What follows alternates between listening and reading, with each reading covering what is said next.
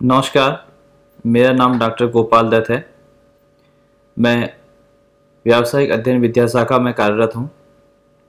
आइए हम बात करते हैं माइक्रोसॉफ्ट एक्सेल के बारे में।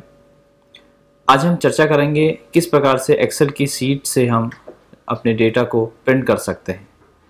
हमारे टॉपिक का नाम है प्रिंटिंग एंड व्यूइंग।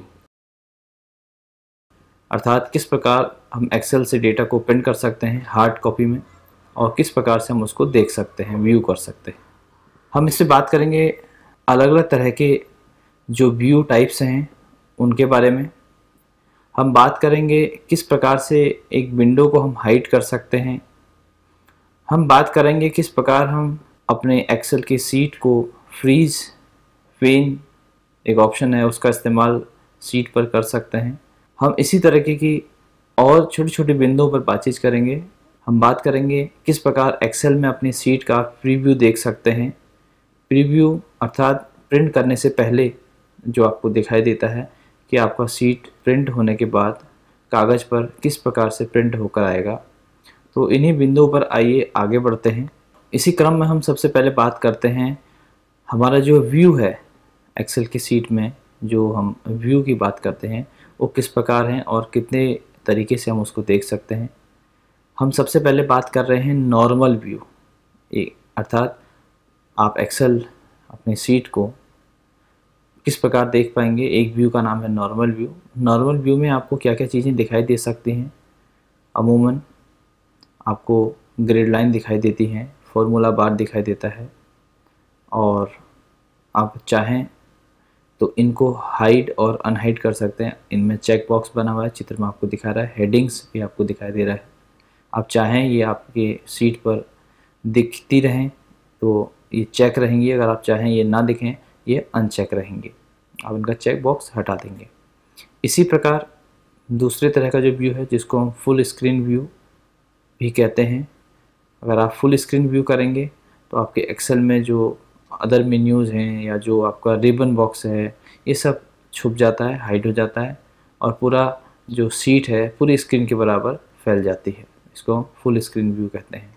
तीसरा जो है व्यू उसको हम कहते हैं पेज लेआउट व्यू एक्सेल में पेज लेआउट व्यू किस प्रकार दिखाई देता है, आपको चित्र में स्पष्ट रूप से दिखाई दे रहा है। अगला जो व्यू है, इसको हम पेज ब्रेक प्रीव्यू कहते हैं। किस प्रकार से आप डिफरेंट एक्सेल की सीट को अलग अलग पेज के रूप में देख सकते हैं। एक ही स्क्रीन पर आपको चित्र में दिखाई दे रहा है कि दो पेज वन और पेज टू लिखा हुआ है। अगर आपकी सीट पर ज़्यादा डेटा है, वो अकॉर्डिंगली पेज साइज़ अलग अलग पेजेज में विभाजित हो जाता है। बात करते हैं एक्सेल में आप अपने विंडो कैसे सेट कर सकते हैं। Single workbook as a window within Excel window किस प्रकार आप उस पर काम करेंगे? और एक से ज़्यादा विंडोज़ अगर आपने ओपन करी हैं एक्सेल में तो उनको आप किस प्रकार मैनेज करेंगे? इस बारे में बात करते हैं। ये आपके विंडो ऑप्शन पर आपको चित्र में दिखाई दे रहा है, न्यू विंडो। आप एक नई विंडो क्रिएट कर सकते हैं, इनको अरेंज कर सकते हैं और इनको फ्रीज पेन भी कर सकते हैं। किस प्रकार आप ये कर पाएँगे, चित्र में दिखाई दे रहा है। और इसी तरह से आप अपने विंडो को हाइड भी कर सकते हैं और स्प्लिट भी कर सकते हैं। स्प्लिट का मतलब है कि आप एक विंडो को दो हिस्सों में विभाजित कर सकते हैं। अगर आप विंडो को हाइड करना चाह रहे हैं, आप हाइड बटन पर क्लिक कीजिए, आप जो एक्टिव विंडो है वो हाइड हो जाती है। अनहाइड करने के लिए आपको विंडो के उसी रेबन पे जाना होगा, जहाँ से आपने हाइड किया था। उसके अगले बिंदु पर अनहाइड ऑप्शन आपको लिखा हुआ दिख रहा है, एरो के माध्यम से उसको दर्शाया गया है। आप उस पर क्लिक कर सकते हैं। और आपसे पूछेगा कौन सी विंडो अनहाइड करनी है। अगर आप एक से ज़्यादा विंडो अनहाइड किए हैं, आप उसमें सेलेक्ट कीजिएगा और ओके कर दीजिएगा। तो जो हाइड विंडो थी, वो आपको फिर से शो होने लग जाएगी, दिखने लग जाएगी। फ्री स्क्रीन किस प्रकार से आप अपने सीट पर रखे हुए डेटा पर, अगर आपके पास एक से ज़्यादा डेटा है, एक लंबी सीरीज़ है और आप चाहते हैं उसके हेडर जो हेडिंग्स हैं, वो स्टेबल रहें, वो मूव ना होए। अगर आप अपने स्क्रॉल को मूव करें, ताकि आप उनकी हेडिंग का, उनको हेडिंग को देखते रह सकें, अनुमान लगा सकें किस प्रकार हेडिंग में क्या लिखा हुआ है। तो इसके लिए आपको अपने कर्सर को किसी जगह पर स्टेबल करना होगा। किसी एक पर्टिकुलर सेल में मान के चलते हैं कि आपके पास पाँच कॉलम पे डेटा रखा हुआ है। Column A B C D E और इस, इन सेल इन कॉलम में जो डेटा रखा है, उनकी संख्या तकरीबन 500 रिकॉर्ड तक है। अर्थात आपने 500 रो में डेटा रखा है इन पाँच कॉलमों के तहत। और पहला जो रो है, वो हेडिंग है। इसका मतलब A one B one C one D one जो आपके सेल के नाम हम आपको गिना रहे हैं।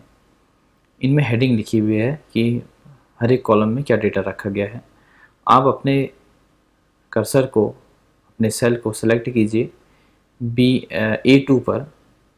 तो आप देखेंगे और उसके बाद फ्रीज पेन पे क्लिक कर दीजिए। आप देखेंगे, जब भी आप अपने सीट को स्क्रॉल करेंगे तो होगा क्या? कि आपका जो हेडिंग रो है, जो टॉप रो है, वो स्टेबल रहेगी, वो मूव नहीं होगी। उसको छोड़ करके बाकी जो आपके बचे हुए रोज हैं, वो मूव होंगी। तो इसी तरीके से फ्रीज और अनफ्रीज हम यहाँ से कर सकते हैं। अगर आप मल्टीपल विंडो एक ही स्क्रीन पर चाह रहे हैं, वो किस प्रकार कर पाएँगे? ऑप्शन में आपको दिखाई दे रहा है स्विच विंडो आप क्लिक कीजिए। और किस तरह की आप विंडो चाह रहे हैं वो आपको दिखाई दे रहा है उसमें आप सेलेक्ट कर सकते हैं। तो एक ही स्क्रीन पर आप एक से ज़्यादा जो विंडो इस्तेमाल कर सकते हैं। अब बात आती है हम किस प्रकार से मल्टीपल विंडोज़ को अरेंज करें? अगर एक से ज़्यादा विंडो आपको स्क्रीन पर दिखाई दे, दे रही हैं या आप चाहते हैं दिखाई दें तो उसके अरेंज करने के कुछ तरीके हैं। चित्र में दिखाई दे रहा है जिसको आप चार तरीके से अरेंज कर सकते हैं। टाइल के रूप में हॉरिजेंटल अरेंज कर सकते हैं वर्टिकल अरेंज कर सकते हैं अथवा कास्केड अरेंज कर सकते हैं। आप इन चारों में से किसी एक ऑप्शन का चुनाव एक बार में कर सकते हैं और उसके बाद आप ओके बटन पर क्लिक करेंगे तो उस तरह का जो है अरेंजमेंट विंडोज़ के बीच में आपको दिखाई देगा। ये ऑप्शन तभी काम कर पाएँगे जब आपके पास एक से ज़्यादा विंडो दिखाई देंगी या ओपन हुई होंगी एक्सेल में। ये एक आप नमूना देख रहे हैं किस तरीके से एक विंडो जो है एक से ज़्यादा एक स्क्रीन पर एक से ज़्यादा विंडो आपकी खुली हुई हैं और हॉरिजेंटल मोड में हम कह सकते हैं, वो दिखाई दे रही हैं। मल्टीपल विंडोज़ इसको हम कहेंगे साइड बाय साइड आपको दिखाई दे रही हैं। तो इसी प्रकार हम बात करते हैं कि किस प्रकार से हम मल्टीपल विंडोज़ के बीच में सिंक्रोनाइजेशन बैठा सकते हैं, देख सकते हैं उनको आपस में, उनको रीसेट कर सकते हैं और साइड बाय साइड कंपेयर कर सकते हैं। और चाहें तो उस वर्क प्लेस को उस, उसको सेव भी कर सकते हैं। सेटअप को सेव भी कर सकते हैं। ये हम बात कर रहे थे अपने एक से ज़्यादा विंडोज़ अगर ओपन हो स्क्रीन पर उनको कैसे मैनेज करें। आइए बात करते हैं किस प्रकार से हम एक्सेल से प्रिंट ले सकते हैं। Printing a sheet hard copy में अगर आप कुछ प्रिंट करना चाहते हैं तो उसके लिए आपको क्या क्या तरीके अपनाने होंगे या आपको क्या सेटिंग्स करने होंगे एक्सेल सीट पर, ताकि आप एक अच्छा प्रिंट ले सकें। कई बार होता यह है कि जब आप एक्सेल से प्रिंट ले रहे होते हैं और उसमें जो नंबर ऑफ़ कॉलम्स हैं या नंबर ऑफ़ रोज़ हैं, वो कुछ ज़्यादा होती हैं। तो आप देखेंगे कि कुछ कॉलम आपके एक पेज पर प्रिंट नहीं हो पाए, कुछ कट के दूसरे में आ गए हैं। ये प्राय एक परेशानी का कारण बनता है। इस तरह की परेशानी हमें ना हो, इस बारे में हम चर्चा करते हैं। एक एक्सेल को एक्सेल में से किसी एक सीट को प्रिंट करने के लिए सबसे पहले आपको पता होना चाहिए प्रिंट कहाँ से होगा। या तो आप शॉर्टकट की का इस्तेमाल कीजिए कंट्रोल पी अथवा आप ऑफ़िस बटन पर क्लिक कीजिए। उसमें प्रिंट बटन आपको दिखाई दे रहा है। उस पर आप क्लिक कर सकते हैं।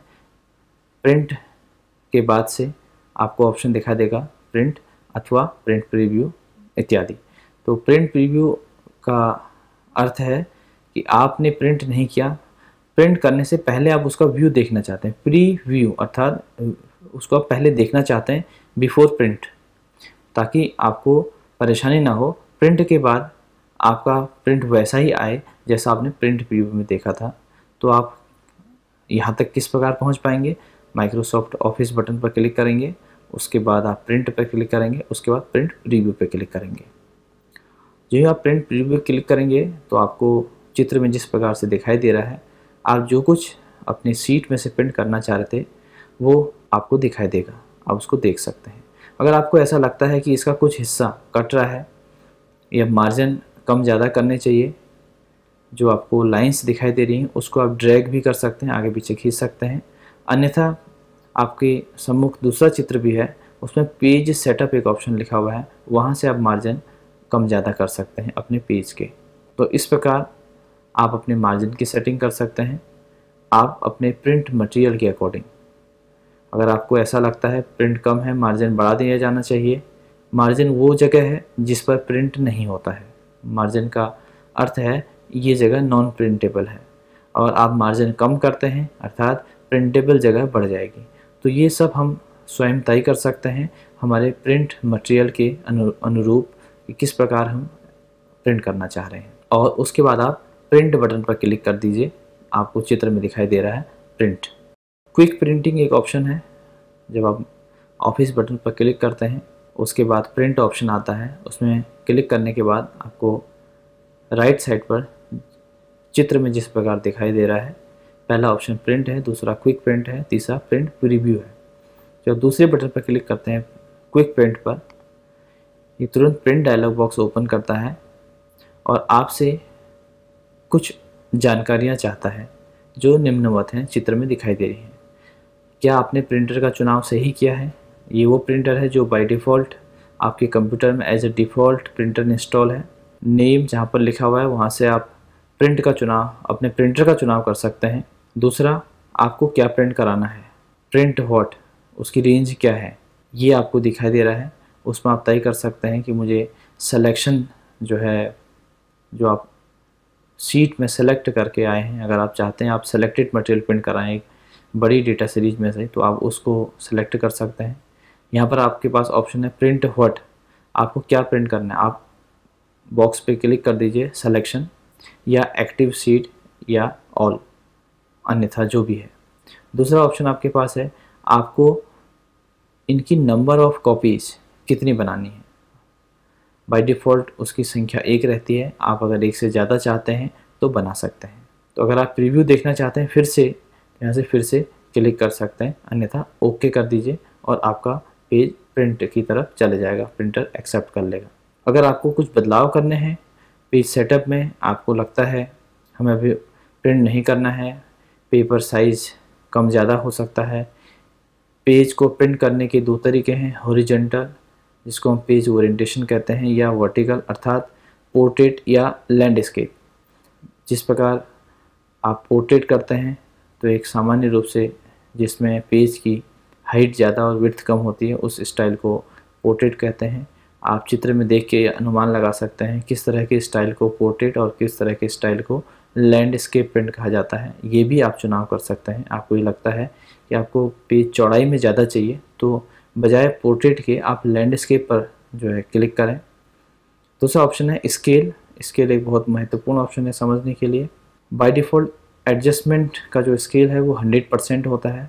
अगर आपको ये लगता है कि कोई डेटा ज़्यादा है और आपके पेज में नहीं आ पा रहा है तो आपके पास एक सुविधा ये भी है, यहाँ से स्केल आप कुछ कम कर दें। कितना कम करेंगे, ये एक व्यावहारिक बात है, आपको देखते रहना पड़ेगा। कितना कम करके एक पेज में फिट हो जा रहा है। या आपका जो ओरिजिनल टेक्स्ट है वो बहुत छोटे शब्दों में लिखा हुआ है, आप चाहते हैं उसको थोड़ा बढ़ा लें। उसके दो तरीके हैं। प्रिंट के दौरान बड़े साइज़ में प्रिंट आए तो स्केल थोड़ा बढ़ा सकते हैं। दूसरा, पेपर साइज़ क्या रहेगा, इसका अगर आप चुनाव करना चाहते हैं, चित्र में दिखाई दे रहा है बाय डिफ़ॉल्ट लेटर सेलेक्ट हुआ आ रहा है। हम सामान्य रूप से जो प्रिंट का पेपर इस्तेमाल करते हैं, उसको ए फोर साइज़ कहते हैं। ए फोर साइज़ का जो हाइट और विर्थ है, हमारे अनुमानतः जो उसका हाइट है वो eleven point six nine something होता है और जो विर्थ है, अर्थात जो चौड़ाई है, वो एट पॉइंट समथिंग इंच में कुछ होता है। तो आप ये भी देख पाएँगे कि जो ए फोर साइज़ आप सेलेक्ट करते हैं तो उसका हाइट अर्थात ऊंचाई और चौड़ाई क्या है। तो इस प्रकार आप यहाँ से प्रिंट सेटअप ऑप्शन का इस्तेमाल करके अपने प्रिंटिंग को और एफिशिएंट बना सकते हैं। तो दोस्तों, आज हम बात कर रहे थे किस प्रकार एक्सेल में डिफरेंट विंडोज़ अलग अलग विंडो अगर हम ओपन करते हैं, उनको मैनेज किया जा सकता है। हम बात कर रहे थे एक्सेल में जो व्यू फैसिलिटी है, चाहे वो नॉर्मल व्यू हो, चाहे वो फुल स्क्रीन व्यू हो, चाहे वो पेज लेआउट व्यू हो, इसको किस प्रकार हम यूज़ कर सकते हैं।